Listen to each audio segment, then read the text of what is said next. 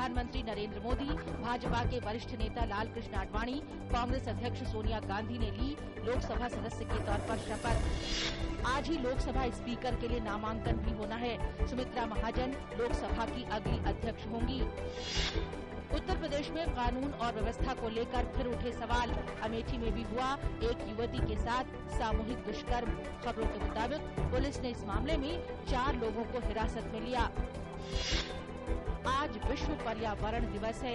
साल 1972 में संयुक्त राष्ट्र महासभा ने मानव पर्यावरण पर सम्मेलन किया और इस दिवस की स्थापना की। साल 1973 में पहली बार विश्व पर्यावरण दिवस मनाया गया। इस बार की थीम लघु द्वीप और जलवायु परिवर्तन रखी गई है। प्रधानमंत्री नरेंद्र मोदी ने पर्यावरण संरक्षण में लोगों से अमानतदार के रूप में कार्य करने और भावी पीढ़ियों की खुशियाँ सुनिश्चित करते हुए वर्तमान में प्राकृतिक संसाधनों का सदुपयोग करने को कहा। केंद्रीय पर्यावरण एवं वन मंत्री प्रकाश जावड़ेकर ने विश्व पर्यावरण दिवस के मौके पर सभी से पेड़ लगाने की अपील की। उन्होंने कहा कि ये हमारे लिए और पर्यावरण को बचाने के लिए बहुत ज़रूरी है।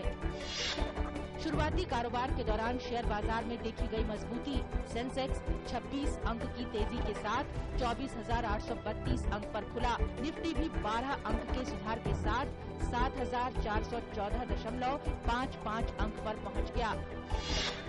आज के शुरुआती कारोबार के दौरान डॉलर के मुकाबले रुपया छह पैसे सुधरकर उनसठ रुपये सत्ताईस पैसे प्रति डॉलर पर खुला। कल के कारोबारी सत्र के दौरान डॉलर के मुकाबले रुपया पाँच पैसे बढ़कर उनसठ रुपये तैंतीस पैसे प्रति डॉलर पर बंद हुआ था। अमेरिकी सांसद मार्क वार्नर ने कहा है कि प्रधानमंत्री नरेंद्र मोदी की अगुवाई वाली सरकार से भारत अमेरिका संबंधों को नए सिरे से तय करने का अच्छा अवसर मिला है। उन्होंने ये बात नेशनल एसोसिएशन ऑफ़ मैन्युफैक्चरर्स द्वारा आयोजित एक संगोष्ठी को संबोधित करते हुए कही, यूक्रेन मामले को लेकर जारी तनातनी के बीच ब्रसल्स में जी सात शिखर बैठक शुरू हुई। रूस के बिना ये बैठक हो रही है क्योंकि यूक्रेन मामले को लेकर रूस को जी आठ देशों के समूह से बाहर कर दिया गया था।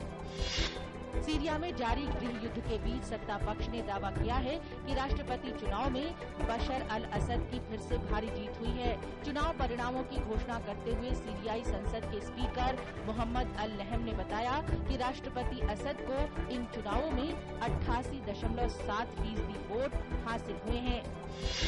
लीबिया में विद्रोहियों की ओर से लगातार हमलों की खबरें मिल रही हैं। राजधानी त्रिपोली में नए प्रधानमंत्री अहमद मायतीगा के दफ्तर पर ग्रेनेड लॉन्चर से हमला किया गया। हालाँकि इस हमले में किसी को नुकसान नहीं पहुँचा है।